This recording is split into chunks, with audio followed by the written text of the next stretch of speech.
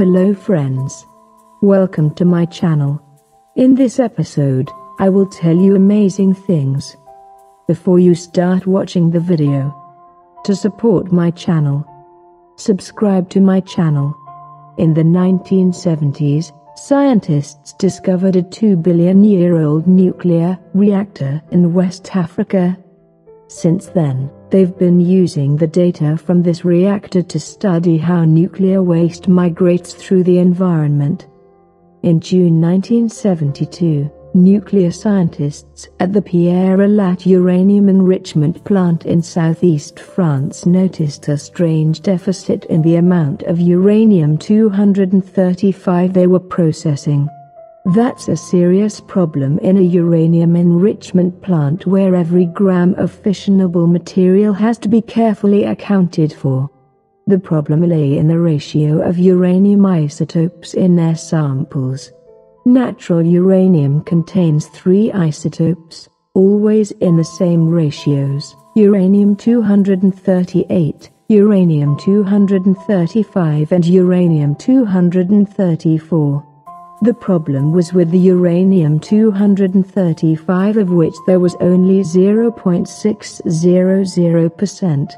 Physicists soon traced the anomaly to the supply of uranium ore from Gabon in West Africa, which contained far less uranium-235 than the ore from anywhere else on the planet, a problem that caused some consternation among nuclear scientists. So France's top nuclear scientists began an investigation, and, in the process, made one of the more remarkable discoveries in recent history. This kind of depleted uranium is only found inside nuclear reactors, which burn uranium-235. That set off a hunt for a reactor that could have produced this stuff. On the 25th of September 1972, they announced that the depleted uranium had come from Gabon where nuclear scientists had discovered a 2 billion year old nuclear reactor at the site of the Oklo uranium mines near a town called Franceville. This was a naturally occurring deposit of uranium where the concentration of uranium-235 had been high enough to trigger a self-sustaining nuclear reaction. Today, say Edward Davis at Kuwait University and a couple of pals who review the scientific history of the discovery at Oklo, one of the most extraordinary natural phenomena on the planet. Since its discovery, the Oklo reactor has been a significant driver of important research in nuclear physics. In particular, physicists have used it to study how buried nuclear waste might spread through the environment.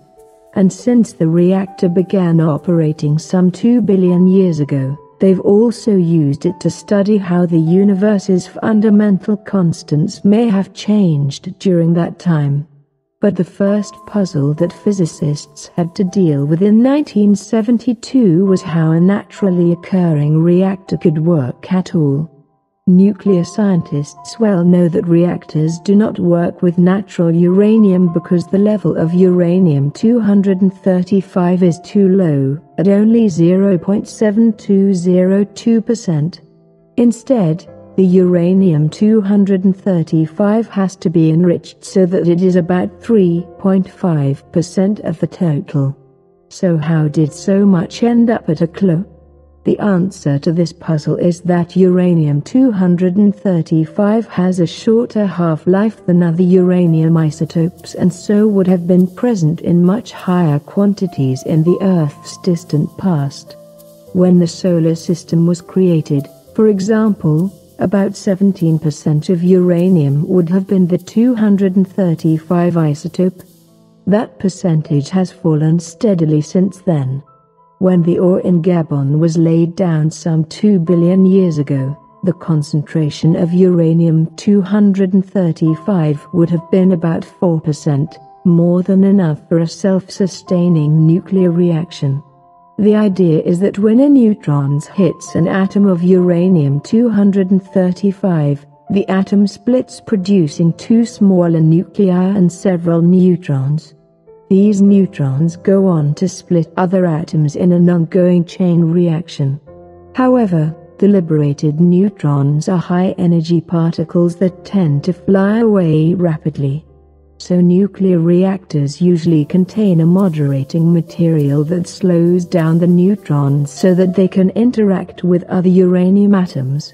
It turns out that water is a reasonable neutron moderator. So an important component of this natural reactor was the presence of water seeping through the uranium ore and this had an interesting impact on the way the reactors operated. Nuclear scientists believe that the Oklo reactors operated in pulses. As water flowed into the rock, it moderated the neutrons, allowing a chain reaction to occur. But this increased the temperature of the rock, boiling the water into steam which escaped.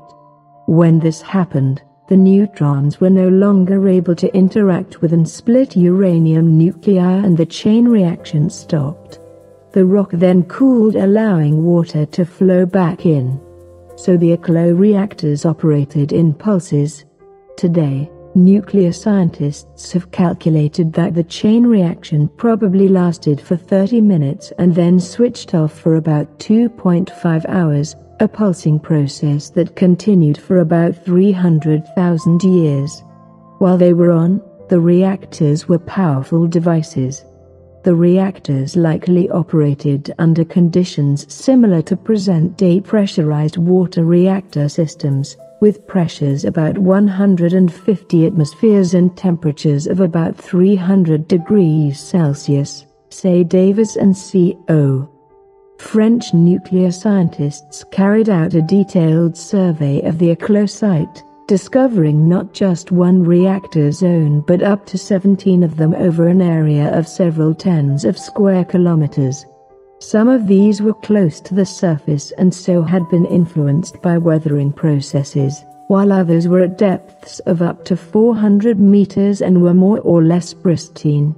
In addition to the depleted uranium-235, these zones contained numerous fission fragments such as isotopes of zirconium, yttrium, neodymium and cerium.